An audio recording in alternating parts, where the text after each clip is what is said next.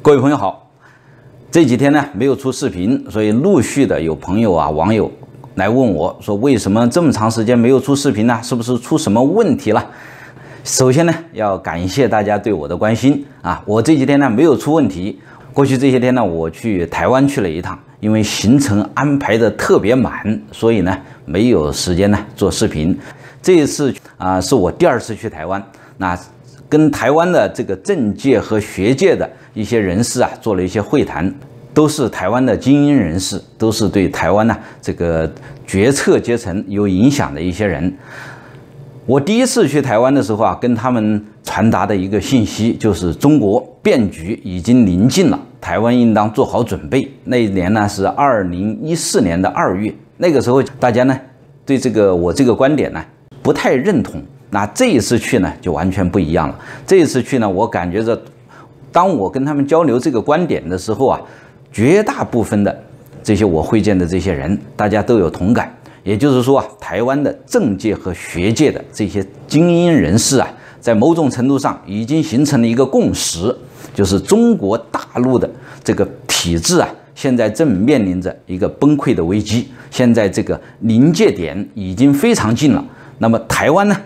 也要为这件事情做好准备。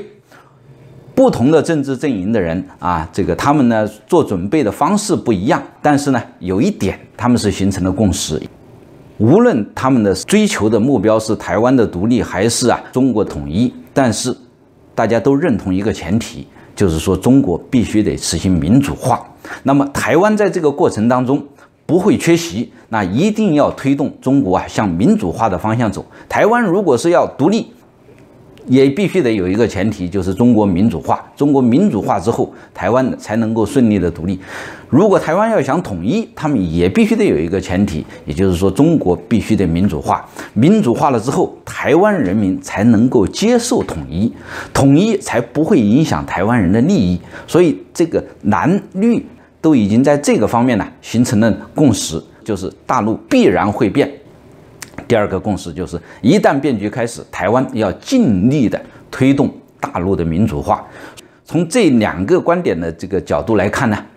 对我们大陆的民主派、民主阵营是一个非常鼓舞人心的消息。因为台湾作为一个政治实体，作为一个和全世界各国的政治势力有联系的这样的一个实体。对未来中国大陆民主化是扮演着至关重要的作用，对未来中国民主阵营的整合，对民主运动的推进是有一个非常重要的一个有利的因素。这一次，我觉得台湾之行给我的信心有非常大的一个鼓舞。我也希望啊，把这种鼓舞传达给我们在国内的、在海外的所有的民主同道。大家一定一定不要灰心丧气，一定要看到，现在推动中国民主化的因素正在聚齐啊！好，那我们再来讲一讲过去这些年来呀，影响大家信心的一个因素。最近这些这些日子啊，这个有一种观点啊，又在沉渣泛起啊，影响着大家的士气。这就是说啊，中国的这个传统文化的问题，中国的民族性的问题，有一种观点呢，非常的流行。就是说，中国人呢是猪民啊，中国人呢，呃，饿死不造反，中国人缺乏反抗精神，中国人呢是有奴性的民族，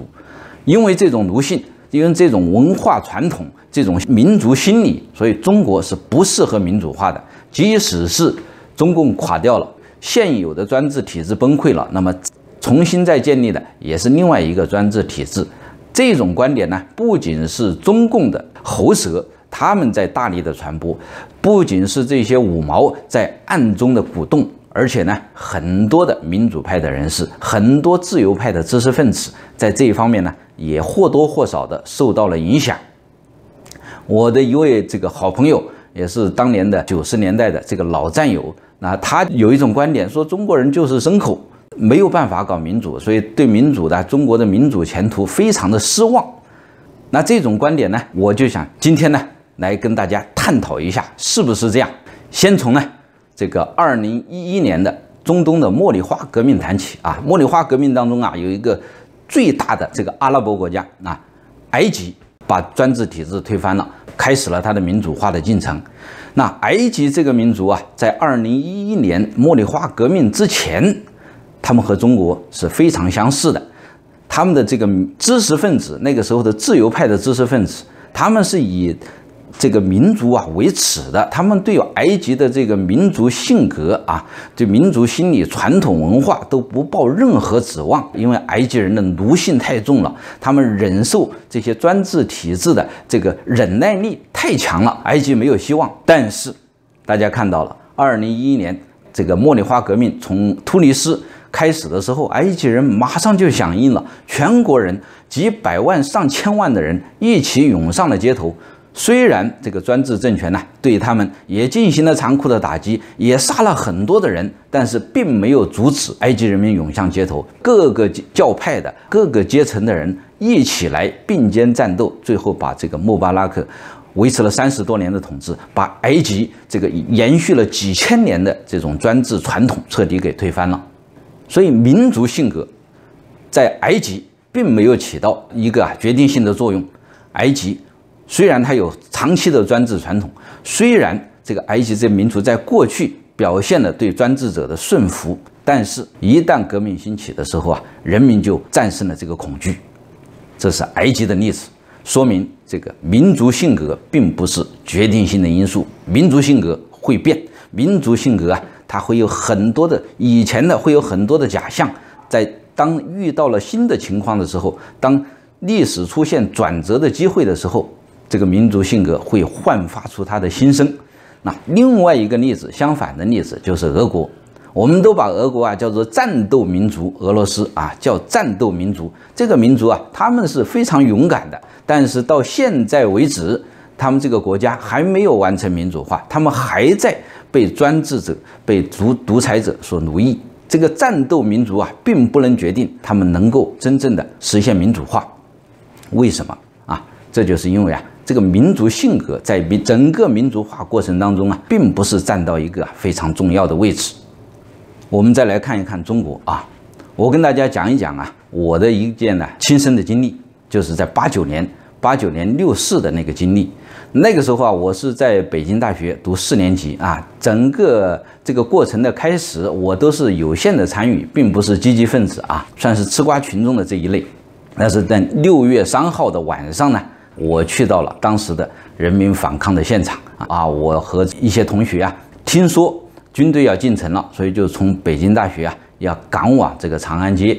还没到的时候，很远的地方就听见了枪声，密集的枪声，不断的持续的枪声。那我还在跟朋友说，我说这个不可能是真的嘛，那肯定是橡皮子弹呐，要不然这么个打枪法，那得死多少人呐？因为我们当时都对中共的这个。暴虐本性呢，没有一个明确的认识，也不可能想象着中国人民呢有那么勇敢，在面对这么密集的枪弹的情况下还能继续抗争。但是当十点半左右，当我们到达莫须地的时候啊，就看见了那个真实的场景。那个时候啊，中共这个军队的军车啊，已经突破了民众设立的这个封锁线，通过长安街啊，向天安门那个方向进发。但是街道南北两边的民众啊，还不放弃，在继续的想截断这个军车，想把军车啊阻止在那个地方，所以长安街两边的人群呢，就不断的向这个军车啊扔石头，然后呢，不断的想冲到这个街道的中间，把军军车给截断。那么在这个军车里面的这些士兵呢，就不断的向两边开枪射击。这个人群呢，就一波一波的往上冲，他们就一波一波的向两边开枪，所以那个地方死人是非常多的。但是就在那样一种情况下，那么惨烈的情况下，老百姓呢没有退缩。当他们的这个枪弹呐密集的扫射过来的时候，一批人倒下，那么整个的人潮向后退一步，但是啊，不久人潮又重新聚集起来，又在往前冲，这么往返大概都有十几次，直到两个多小时以后，军队。完全通过了那一那一个接口，老百姓呢还不放弃，我们在后面呢就跟着那军车，一边喊口号，一边扔扔石头子，还想接近这个军车的这个车队的这个尾部。任何人只要靠近那个军车，他们就会啊打出一梭子子弹，就会啊有一批人倒下，就这么沿途又死了很多的人。所以从那天以后啊，任何人告诉我说中国人没有勇气，这种观点呢，我就是绝对不能够接受的。中国人是有勇气的，没有见证过六月三号晚上、六月四号凌晨的北京街头的那个场景的，你们是不可以想象中国人的勇气能够到什么样的程度，中国人的献身精神能够到什么样的程度。那有些人可能说那是那个时候啊，八十年代。那现在变了，我告诉大家没有变。我跟大家讲一个例子啊，就在二零零九年的时候，湖北石首发生了一个事件，就是因为有一个厨师从当地的一个宾馆的高楼上面摔下来了，摔死了。当地的公安局说是自杀，但是家属呢认为这个事情太蹊跷，不可能是自杀。那个宾馆呢以前也发生过类似的事件。那么那家属呢就要求保留尸体，公安呢就要求啊迅速的火化，所以双方呢争抢尸体，引起了大量的民众的围观。大家认为这个厨师是因为了解了这些权贵在宾馆里面所进行的一些肮脏的勾当，所以被灭口了。这个时候啊，死守的民众就自发的起来协助这些家属来保护这个尸体。警民双方就发生了冲突，最后啊愈演愈烈，整个石首是几万民众都参与到这样一场呢斗争当中，最后中共不得不派出上万的武警部队来对这个整个城市啊进行包围。这一件事情呢持续了差不多有一个星期。很多的人呢，最后被关进了监狱。绝大多数的民众跟他们是没有直接的利益关系的。他们为什么参与呢？是因为出于他们的正义感，出于他们的义愤。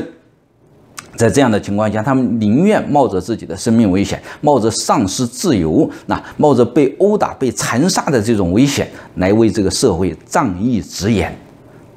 这就是中国人呢，在某一种情况下显示出来的他们的道德勇气，显示出来的他们的。对社会的承担显示出来的他们的正义感，即使是啊，经过中共的长期的洗脑，即使是面临着一个专制政权的高压，这个人性里面的这种优点从来没有丧失过，中国民族性格里面的这种优点从来没有丧失过，只不过是呢，这在很多情况下它没有显示出来，没有发挥出来而已。确实，我们也看到了，在很多场合下。很多中国人表现得非常的麻木，表现的对这个专制者、对这个暴政啊逆来顺受的这样的一种习性，为什么会出现这么大的反差呢？有时候他们表现的那么勇敢，那么有正义感，而有时候啊又表现的如此的有奴性啊，如此的这个顺服，为什么会有这种反差？那我想跟大家介绍一个词，那叫做“阈值”。那个欲呢，就是一个门字里面呢一个或或者的或是什么意思呢？这事物在某一种环境下，它受到不断的刺激之后，当这个刺激达到一个临界点之后，它会做出一个激烈的反应，完全跟它平时的表现呢相反。每个人在生活中啊都有这样的一个经验，就是有一些人呢平时看起来非常的老实啊，经常受人欺负，但是当他被欺负到某一个程度的时候，他就突然就爆发了。而这个老实人一旦他的脾气爆发起来，那个力量啊是非常强大的，他会让那些啊欺负他的人呢感觉到啊非常的惊讶。老实人一旦发起火来，那是不得了的，那是暴风骤雨似的。人类群体里面也同样有这样一种现象。我们呢，长期以来是被原子化的，个人是面对着一个强大的专制集团，在这样的一种情况下。我们感觉到自己很弱小，所以在很多情况下我们会忍让。但是，一旦当我们自己感觉力量在成长，达到一个临界值的时候，那种恐惧感就会消失。恐惧感一旦消失之后，那时候我们所激发出来的力量，我们所激发出来的那种勇气，那就是啊，跟平时的表现完全不一样的。现在呢，我们还在处在这个临界值以下。但是，请大家相信，这个临界值已经非常的临近了。中共过去六十九年的这个暴政对老百姓的欺压，已经是啊，让老百姓的这个忍受力快达到临界点了。而民间的抗争力量也在不断的积累，民间的这个自信也在不断的积累。在八十年代的时候，你很难想象。有这么多的人能够上街，但是到现在呀，我们不仅是群体性事件每天都在发生，而且从今年开始，这个群体抗争呢已经形成了全国联动。开始的时候，四月份的时候有段友，有塔吊车司机，那全国联动。六月份的时候，又有这个全国的老兵、全国的这个卡车司机又在联动。现在还有很多的群体正在策划，正在暗中的策动更大规模的这个全国联动，各个阶层一起的全国联动。我们这个全民共振的这个平台，在海外的这个平台和在国内的这些联系人、这些发起人，也在推动这个全国的联动。一旦一旦这些全国联动啊，找到了一个突破口，就会啊把这个民族的这个忍耐性呐推到临界点，就会把民族的这个恐惧感，对专制政权的恐惧感降低到临界点。那个时候就是啊全民总爆发的时候。一旦那个时候爆发，中国人的民族性格就会呈现出一个全新的面貌。那个时候，中国人就会感觉到恐惧消失了，希望出现了。那个时候他们就会啊奋勇向前，那个时候我们的正义感、我们的道德良知就全部会焕发出来。真正阻碍民主的就是专制制度，就是专制政权。只要我们把这个政权冲垮，只要我们把这个制度啊把它打垮，那么民主就是可以期待的，民主就是可以实现的。现在我们到了这样一个关键的时候啊，所有的民主派的人士，大家不要把这个过去的失败归咎于民主性格，而是要啊尽力的去把这个民族动员起来。我们失败的原因是在技术方面的，是在战略战术层面的，而不是在民族心理层面的，不是在这个民族啊它本身的素质层面的素质论。这是中共极力推广的、鼓吹的一种啊伪理论，一种谬论。大家千万不要上当。现在呢，中共已经面临着前所未有的危机。一方面呢，是国际社会对它形成了一个围堵的局面；而在国内呢，民众的反抗正在积累力量，正在呀接近那个临界点。就在今年下半年，这个临界点呢就会到来。所以，希望我们现在所有的人，所有的这个想改变中国的人，一定要抓紧这个机会。尽量的联络我们身边的这些反抗人士，联络的人越多，大家就感觉到自己的力量越大，我们的动员能力就越强。尤其是要联络那些已经参与过反抗、已经呢走上街头，已或者正在准备走上街头的那些抗争群体，那些退伍老兵的群体，那些教师的群体，那些下岗工人的群体，那些被强拆强征的群体，那些被中共的医疗制度所残害的群体，那些啊被。司法不公啊，那所冤屈的那些群体、访民的群体，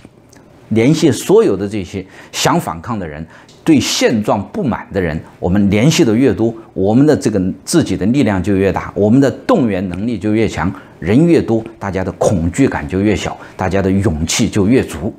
当这个临界点到来的时候，大家一起上，一起上，这个专制制度就被推翻了。就在今年。让我们呢完成这个历史的重任。今天就讲到这里，谢谢大家，再见。